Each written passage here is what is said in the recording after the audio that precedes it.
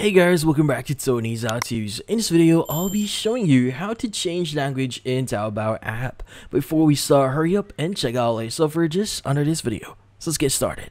This case, how do we change the language in the Taobao app here? So, in this case, let's go open up Taobao here. And just to give you some idea here, with how Taobao is currently set up, you won't have the option to actually convert it into English. So by default, it's going to be in Chinese. Now, in this case, there's actually a cool trick or app here that we could use to basically translate the app itself.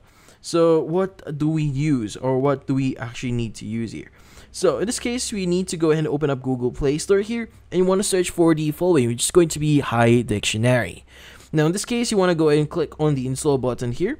And once it's actually installed, we are or we should be able to start translating some uh, text here into English, which is a pretty cool trick here. But th there are going to be some settings that you need to change.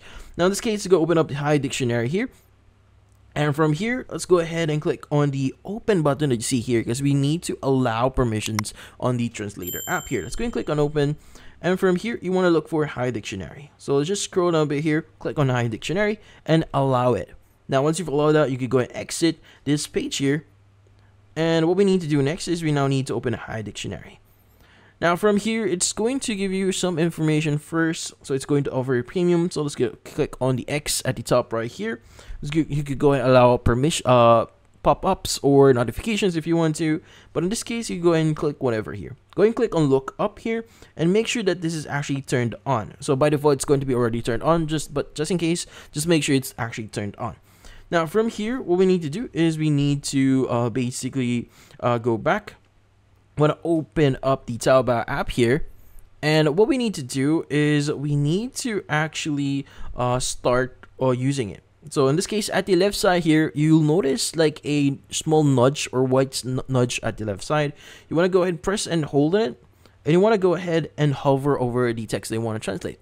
But if this is the first time that you're, accessing this one, it's going to say user consent here. I would suggest you to click on accept. And from here, what we need to do is we need to allow Hi Dictionary again.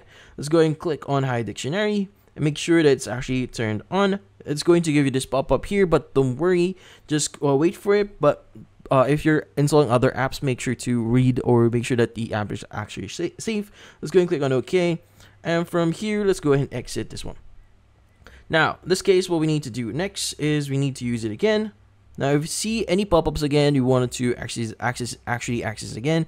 But in this case, let's go ahead and press and hold on it, and you want to uh, hover over the text that you want to translate. For example, I want to choose this one. So in this case, let's go ahead over this one instead. Oh, and as you can see, we now have that text translated. So it's going to say log in to about to open a wonderful world. Now you can do this for other texts as well, as you can see right now. It's going to translate a few things here. But yeah, so you can use this magnifying glass to translate whatever you want on the within the app itself because currently they don't support the default or the actual translation so we need to use a third-party app for that. But in this case that's about it.